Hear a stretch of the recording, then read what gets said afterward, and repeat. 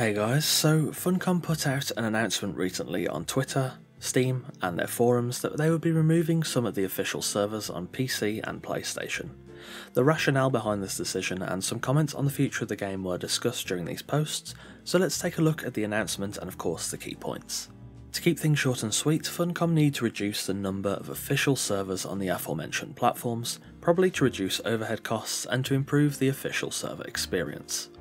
They explained that these servers were designed to provide more than enough room for big influxes of players in the early access launch, the full launch of the game, and the Siptah launch, and now that the community has gravitated into regular patterns of play, some of the less used servers need to be cleaned up. In this post, Funcom acknowledged that many players have chosen to move away from official servers in favour of player owned private servers with different XP rates, player limits, or in the case of PC, modded servers. This is a prevailing trend that has been happening over the years. It's not necessarily a bad thing, it's fairly natural, but a consequence is that many official servers sit near empty for a long time, with maybe only two or three players even at peak hours.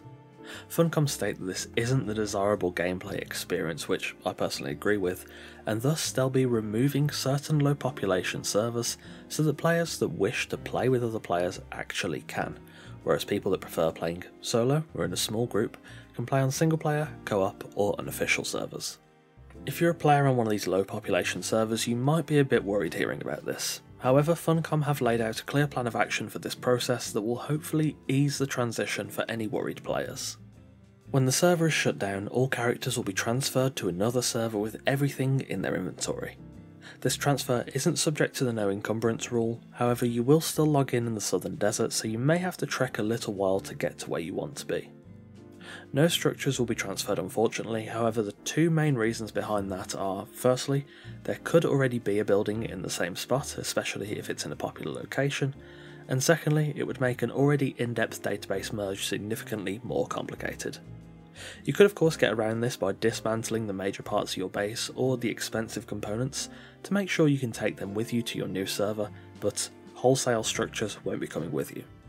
The server shutdowns won't just come out of the blue, instead players will be notified ahead of time through the message of the day on their server when they log into the server, and there will be a list of servers and dates published as they are decided, so you'll have time to prepare for the transfer. Characters on a closed server will be transferred to a server in the same region. For example, if you play on a US East Coast server, your new server will be on the East Coast, it won't be on the West Coast, so your gameplay experience in regards to ping and lag should hopefully be the same as it was on your previous server. Currently, Funcom are estimating about one third of official servers on PC and PlayStation will be closed based on player activity trends and projections for future updates.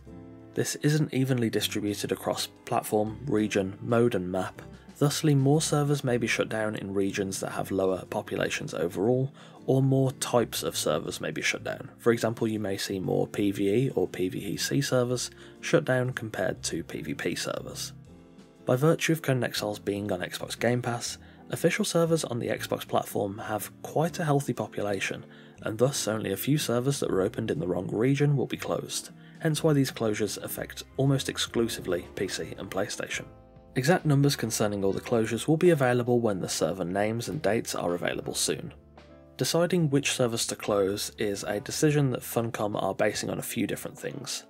Firstly, the goal is to impact as few players as possible, so the decision will be factored based on low population in January as a primary factor. However, as a secondary factor, average and peak population are also considered, though average is more important. Low populated servers will have some weight on the number of structures on the server, and for the destination servers that you'll land on once your original server is closed, the aim is to increase average population across the board and not to create logging queues. This is probably why the server queue feature was added in a recent update, just in case there are any servers that hit the player cap, but generally this isn't the aim, as players will be evenly sprinkled throughout the official servers rather than dumped into one until it's full and then moved to the next. In regards to the future, Funcom recognises that the player base's proclivity towards private servers and community servers and such will probably continue, though they expect the game to grow even more so it's hard to predict too far ahead.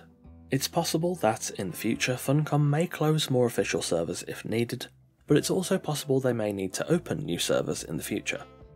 They seem to be predicting a sizable influx of players in the future, as there are a few lines in this update that hint at exciting things coming this year, which is probably going to be update 3.0. I'm curious to hear what you guys think about this in the comments below. Personally, I'm definitely a fan of this move. It's no secret that quite a few unofficial servers sit pretty much dormant, seeing maybe 2, 3 or 4 players a day, and there are probably some that have a grand total of 0 players and have done for a while. By closing these servers and pushing players together, along with the changes to PvP building, I think the aim is to encourage people to actually engage in PvP, PvE or PvEC in the intended way, rather than each player kind of playing a solo game that happens to have one or two other players wandering past every so often. I think the Conan player base has already shown that unofficial servers is just the way they prefer to play, and sometimes that can't be helped, and really, it shouldn't be helped if players want to play like that.